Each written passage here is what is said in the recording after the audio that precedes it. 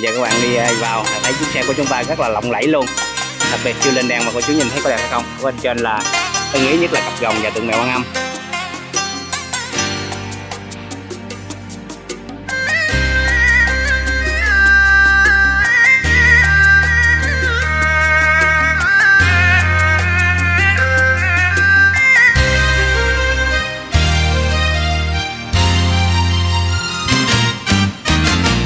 Ngày 18 tháng 5, kỷ mão 1939, Đức Quỳnh Giáo chủ khai sáng đạo Phật giáo Hòa Hảo với sứ mạng thiên liêng.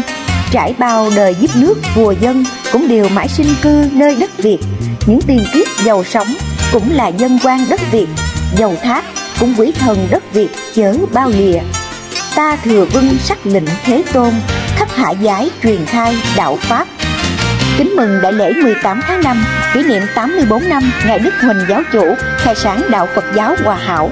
Toàn thể tín đồ Phật giáo Hòa Hảo quyết tâm thực hiện đường hướng vì đạo Pháp, vì dân tộc,